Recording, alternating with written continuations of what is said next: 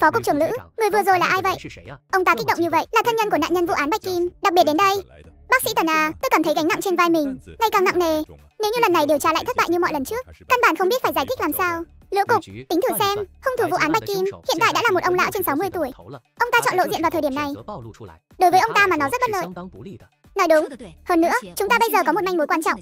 Ở bệnh viện tâm thần, không chừng sẽ có dấu vết. Tôi sẽ gọi điện cho viện trưởng ngay bây giờ, để ông ta sắp xếp để bệnh nhân gặp chúng ta để hỏi thăm. Tiểu muội muội, bố mẹ em có chuyện gì mà không thể đến được sao? Không có, thực ra đó là chuyện bình thường. Em đã quen rồi. Họ bận công việc lắm sao? Nói thế nào nhỉ? Cũng như bố mẹ của những đứa trẻ khác thôi. Nghe có vẻ như họ không quan tâm đến con mình lắm nhỉ? Nếu không để em gọi điện cho mẹ lần nữa nhé.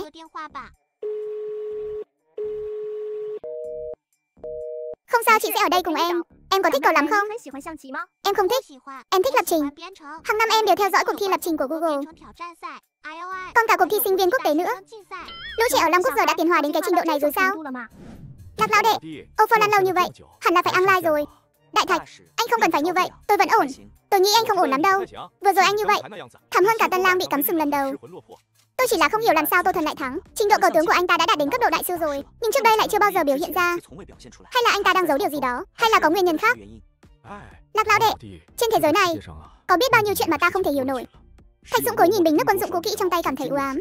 Đại Thạch, tôi vẫn chưa hỏi anh, suốt những năm qua anh đã làm gì vậy? Vẫn luôn tìm kiếm người đó sao? Thạch Dũng vứt về những vết in đỏ đã phai mờ trên bình nước. Số hiệu đội 177. Lạc lão đệ, tôi chỉ có một ý nghĩ. Sống phải thấy người, chết phải thấy xác. Tiếc là những năm qua chẳng có tiến triển gì. Đây không phải là tiền trong người tôi hết rồi.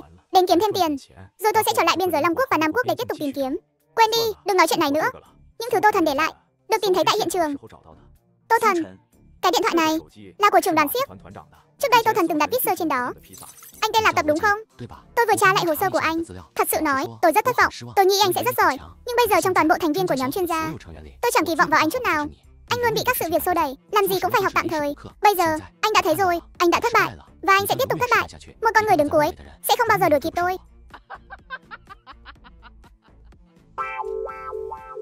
Tôi tưởng Tô Thần sẽ để lại manh mối hữu ích gì đó. Không ngờ chỉ là để chửi bới anh thôi. Tô Thần đang khích tướng, anh ta muốn tôi nghiêm túc. Không đúng đâu, tôi cảm thấy anh ta chỉ đơn thuần là muốn chửi anh thôi. Không thể nào, tuyệt đối không thể nào. Trong đôi mắt thường lơ đãng của Lạp Tập, bỗng lóe lên chút nghiêm nghị và khí thế. Lão Thạch, Tô Thần đã yêu cầu như vậy, vậy thì tôi cung kính không bằng tuân lệnh. Chú ơi, hy vọng anh cũng đã chuẩn bị sẵn sàng. Chú ơi, trò chơi thật sự mới, chỉ vừa bắt đầu thôi. Lạc lão đệ, trước đừng nói những lời tuyên ngôn như thế, tiểu cô nương kia đang gọi anh kìa. Hóa ra là đứa bé vừa bị sử dụng như một quân cờ, nghĩ đến quân cờ, là lại nghĩ đến ván cờ, nghĩ đến ván cờ, là lại nghĩ đến Tô Thần, nghĩ đến Tô Thần, là lại đau thắt. Tiểu cô nương, em có chuyện gì sao? Chú ơi, ngày mai cháu phải học môn khoa học. Cô giáo bảo chúng cháu phải chuẩn bị nam châm. Mẹ cháu vẫn chưa đến đón. Nhưng bây giờ đã muộn rồi. Cháu sợ lát nữa cửa hàng tạp hóa sẽ đóng cửa. Nam châm à? Vâng, nếu mai cháu không mang đến lớp thì sẽ bị phạt đứng. Tiểu cô nương da mặt vẫn còn mỏng. Hồi nhỏ tôi gần như chẳng bao giờ ngồi vào lớp cả. Học tập quan trọng nhất. Tiểu nha đầu, giáo viên của em có yêu cầu gì không? Chỉ cần mang bất kỳ loại nam châm nào cũng được hả? Cô giáo yêu cầu phải chuẩn bị cả nam châm tự nhiên và điện tử, mỗi loại một cái. Cửa hàng tạp hóa của ông Trần ngay trước cổng trường có bán. Nhớ nhé, ông Trần có bán nam châm tại cửa hàng tạp hóa của ông ấy. Chi tiết ẩn dụ, manh mối quan trọng đấy. Tiểu cô nương cháu làm gì ở đây vậy? Còn chưa về nhà à? Ông Trần. Lẽ nào lại là Tô Thần giả Trang Thành? Hung thủ trong vụ án Bạch Kim cũng khoảng 60 tuổi. Mẹ cháu chưa đến đó nữa. Nếu không ông sẽ đưa cháu về.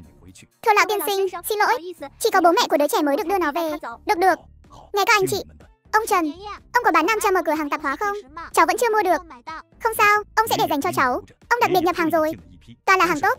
Thương chỉ 10 đồng, điện tử thì 15 đồng. Trần lão đầu. Sao ông bán đắt thế? Nào nào tiểu cô nương. Ông chịu bán 8 đồng. Không lừa cháu đâu. Họ chịu. Lão già ông là có ý gì? Tôi lừa gạt. Tiểu cô nương, đừng có nghe lão già hôi hám này. Hàng của họ chất lượng không tốt. Ông ở đây 6 đồng, không cần quan tâm lão già đó. Ông gọi ai là lão già hôi hám đây? Tiểu cô nương, ông không lấy tiền, tặng cháu một cặp luôn. Các ông đừng cãi nhau nữa. Ông Trần và ông Triệu đều kinh doanh cửa hàng tạp hóa ở cổng trường. Chắc quan hệ không được tốt lắm. Tiểu cô nương, sao lâu như vậy rồi, vẫn chưa có ai đến đón? Hay là để ông đưa cháu về nhà nhé? Thưa lão tiên sinh, xin lỗi, chỉ có bố mẹ của trẻ mới được đưa nó về. Đồng chí cảnh sát nói rất đúng, rất nguy hiểm. Lão già họ Triệu này vừa mới trở về từ Kim Lăng. Các người nên tạm giữ ông ta để điều tra, không chừng ông ta chính là tên sát nhân bị truy nã. Họ Trần Ông là một tên tàn nhẫn. Tôi thấy ông mới giống tên sát nhân.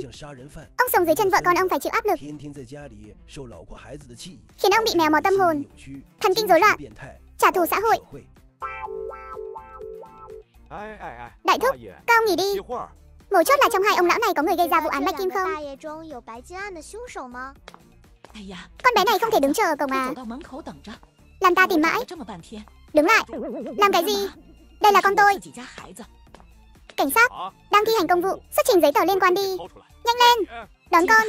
Lại còn rắc rối như vậy. Lau sạch lớp trang điểm của cô. Gì? Nhanh lên. Lau sạch trang điểm rồi đón con. Tiểu nha đầu, Đây có phải mẹ cháu không? Được rồi Cứ xử tử tế với con cái một chút. Lần sau nếu tôi còn thấy kéo cô vào đồn để bị phê bình giáo dục. Vâng vâng vâng. Người phụ huynh này hoàn toàn không đáng là một bậc phụ huynh. Tệ quá quá tệ rồi. Trong mắt cả hai ông lão đều lóe lên một tia thương cảm, nhưng cũng không nói gì. Rồi mỗi người đi về một hướng, ra khỏi sân cờ, đi lấy một cái túi nhựa cho ta. Nhanh lên. Vâng. Bóng dáng của cô bé nhanh chóng lấp đi trong đám đông. Bỗng một bàn tay vỗ vào. Chất bột trắng sọc vào mũi cô bé. Cô bé lập tức bất tỉnh. Để ủng hộ kinh phí cho kênh mọi người hãy subscribe giáp vào cày view hoặc donate cho mình nha mọi người. Cảm ơn mọi người đã xem và ủng hộ kênh.